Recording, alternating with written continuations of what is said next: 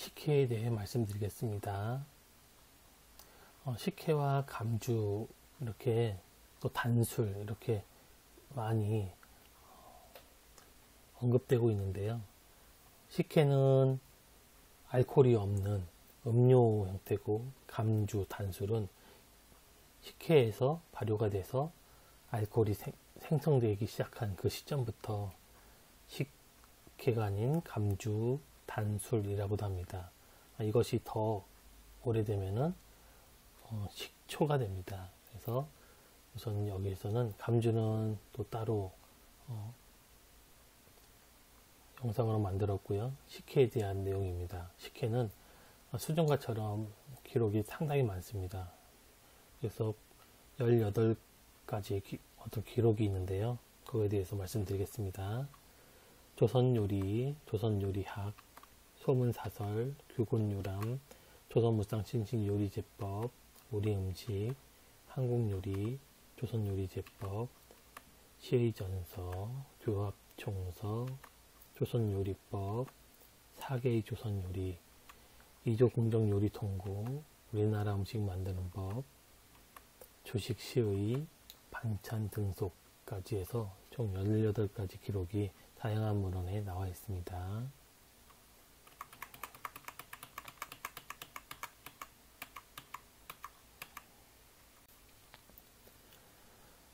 식혜 조선요리 저자미상이고요. 1970년 250페이지 식혜 재료와 만드는 법 원문이고요. 번역문입니다. 글자가 많기 때문에 어, 큰 화면에서 보시면 되겠습니다. 노트북이나 뭐 PC 모니터, 태블릿에서 보시면 되겠습니다. 조리법입니다. 1단계부터 5단계까지 나와 있고요. 팁으로 삭은 식혜의 밥알을 건져 찬물에 헹궈 놓고 식혜즙은 끓인 후 식혀서 마실 때 잣과 함께 띄우기도 한다. 이렇게 나와 있습니다. 시루채가 필요합니다. 조선 요리학 홍선표 1940년 175페이지 식혜라고도 되어 있는데요. 원문입니다.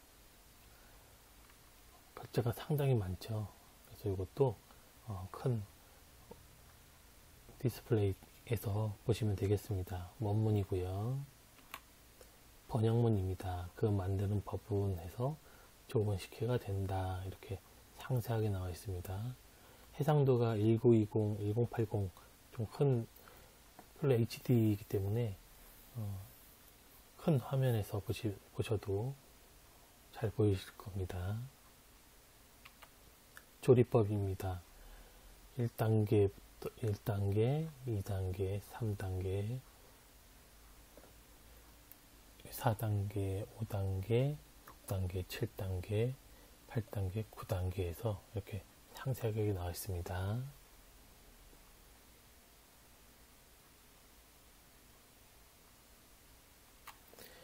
시루, 배부작이, 기, 맷돌, 굵은채, 솥 등이 필요합니다. 소문사설 20필 18세기고요. 식혜, 식혜법 원문입니다.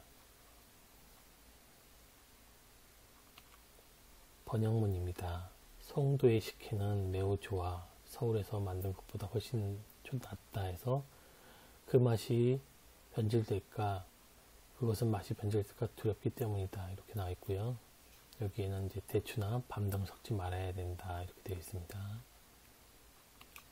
조리법입니다. 1단계부터 1, 2, 3, 4, 5, 6 되어 있고요. 이런 방법은 보통 식혜와는 다르다. 식혜를 먼 지방으로 보내고자 할 때는 대추나 밤 등의 등은 맛의 변질이 있기에 섞지 말아야 한다. 이렇게 나와 있습니다. 방아, 시루, 소뚜껑, 채, 항아리가 필요합니다. 규곤 요람 저자미상이고요. 1896년 식혜 원문입니다. 번역문입니다. 조리법입니다. 1. 엿기름 가루를 따뜻한 물에 담가서 잔물이 다 우러나가던 맑은 물만 따라 쓴다. 2. 쌀을 잘 씻어 지은 밥과 함께 용기에 빚어 넣어둔다. 3. 다 되면 시원한 데 두고 먹는다. 이렇게 되어 있습니다. 용기가 필요하고요. 조선무쌍신식 요리제법 이 용기 1936년 258페이지 식혜 원문입니다.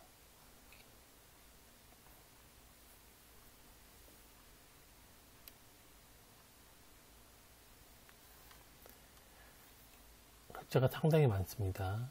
이것도 큰 태블릿 아니면 노트북, PC 모니터에서 보시면 어, 될것 같습니다. 좋은 잡쌀이나 아 요거는 원문입니다. 번역문입니다. 좋은 찹쌀이나 상등 맵쌀로 밥을 되직하게 지어 항아리에 담는다 해서 풍속에 젖어서 잘 먹는 사람이 이렇게 깨닫지를 못하니 매우 가엾어한다 이렇게 되어 있습니다. 네, 조리법입니다. 방법 1, 방법 2가 있는데요. 1단계, 2단계, 3단계, 4단계, 5단계, 6단계가 있고요. 방법 2에는 1단계, 2, 3, 4단계가 있고요. 방법 3에는 그냥 1단계만 있습니다. 가오리와 홍어를 거적에 쌓아서 재 속에 묻어두었다가 며칠 만에 꺼내 보면 썩어서 빛이 붉고 진이 나고 맛은 겨자와 같아진다 이렇게 되어 있습니다. 이거는 식혜, 식혜 만드는 방법입니다. 그리고 이거는 식혜 만드는 방법이고요. 항아리, 채, 나무 숟가락, 놋그릇, 배, 수건이 필요합니다. 우리 음식 손정규 1948년 123페이지고요. 원문입니다. 재료 만드는 방법에 대한 내용입니다.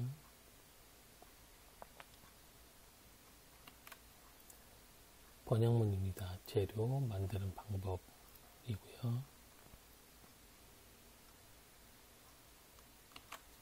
조리법입니다. 1단계, 2단계, 3단계, 4단계, 5단계, 6단계, 7단계, 8단계 이렇게 나와 있고요.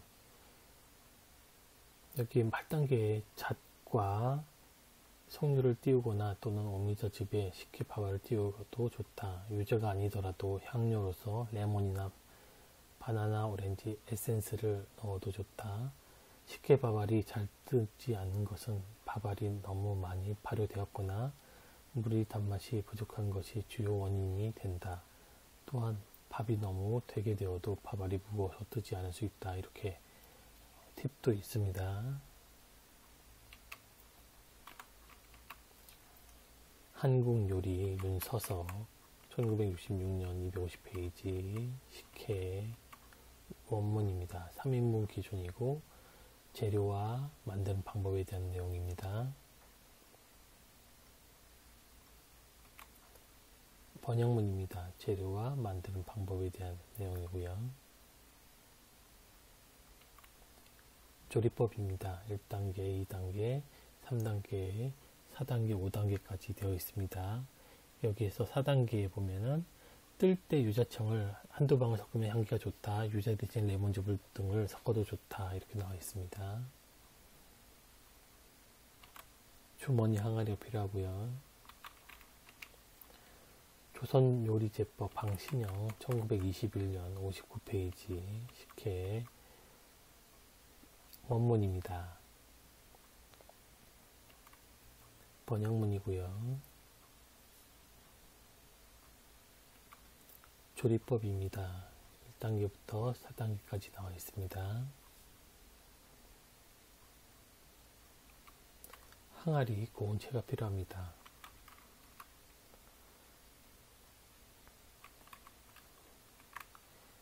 방신형 조선요리제법 21년이 있고요. 또 조선 요리제법 방신형 1934년 기록이 있습니다. 348페이지 기록이고요. 원문입니다. 재료와 만드는 방법 번역문입니다. 재료와 만드는 방법이고요. 식혜는 대개 찹쌀로 하지만 맵쌀로 하는 것이 더 부드럽다 되어 있습니다. 조리법입니다. 1단계부터 5단계까지 나와 있습니다.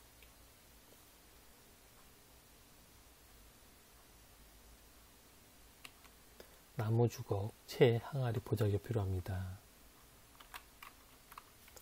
시의 전서 저자 미상이고요. 1800년대 말 식혜 원문입니다. 번역문입니다.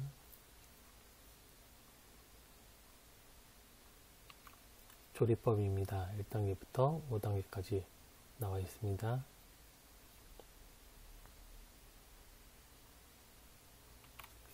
항아리 수조가 필요합니다. 교합 총서 빙 허각 이씨 1800년대고요. 식혜법 원문입니다. 고문으로 되어 있습니다. 번역문입니다. 좋은 쌀을 옷같이 깨끗 껍질 벗기고 또 옷같이 씻어 실에 찐다 해서 유자는 통으로 넣으면 형상과 기온이 비상해진다 되어 있습니다. 조리법입니다. 1단계부터 6단계까지 되어 있는데요. 먹을 때 대추, 팜, 백자, 배, 배 등도 함께 넣는데 오래두고 먹을 것이라면 밤이나 대추를 넣지 않는다. 변질되기 때문에 그렇습니다. 채도채가 필요하고요.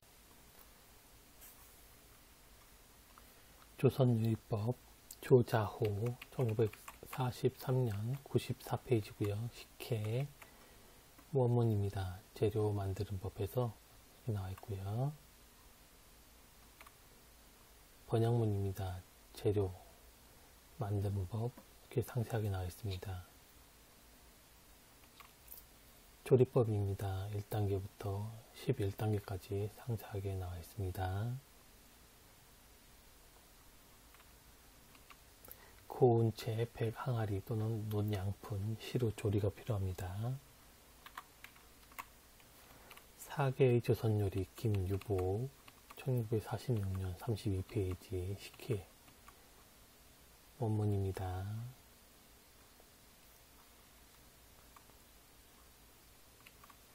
번역문입니다.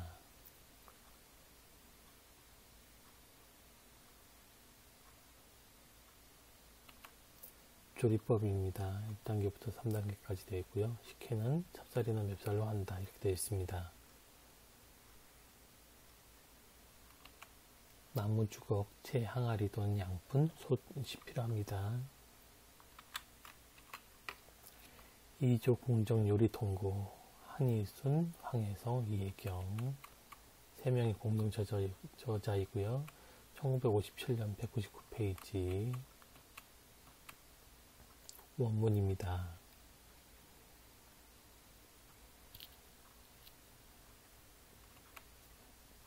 번역문입니다.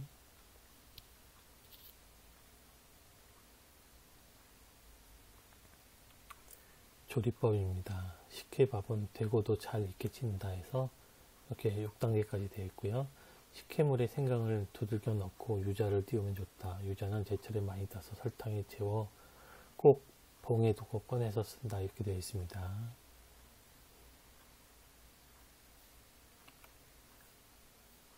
우리나라 음식 만드는 법 방신영 1954년 269페이지고 식혜 사시사철 가능합니다.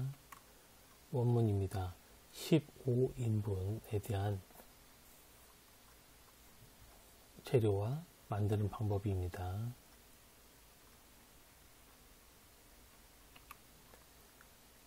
번역문입니다. 재료 15인분 재료와 만드는 방법입니다. 비고에 대한 내용도 있습니다.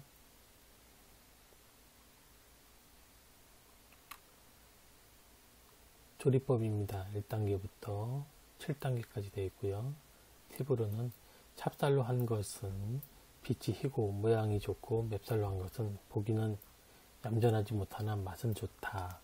식혜 맛은 엿기름 가루에 달린 것이므로 아무쪼록 좋은 엿기름 가루를 써야 한다. 이렇게 되어 있습니다. 글자가 많기, 많기 때문에 일시 정지하셔가지고 아니 큰 화면에서 일시, 일시 정지하셔서 보시면 되겠습니다. 격체 냄비 또는 작은 시로 항아리 채가 필요합니다.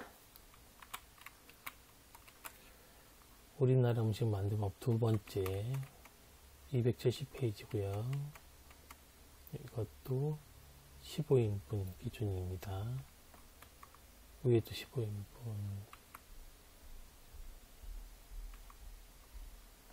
근데 요리법이 좀 다릅니다. 같은 15인분이지만 그래서 어, 재료와 만드는 법 번역문입니다. 15인분 기준의 어, 번역문이고요. 조리법입니다. 1단계부터 6단계까지 되어 있습니다. 앞전 거는 이렇게 되어 있고요.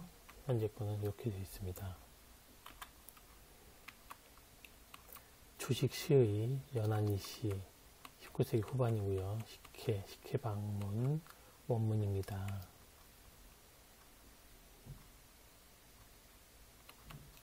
번역문입니다.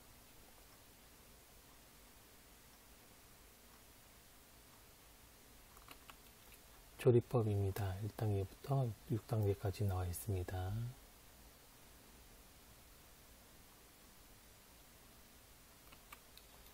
주걱, 옹뱅이, 항아리가 필요합니다.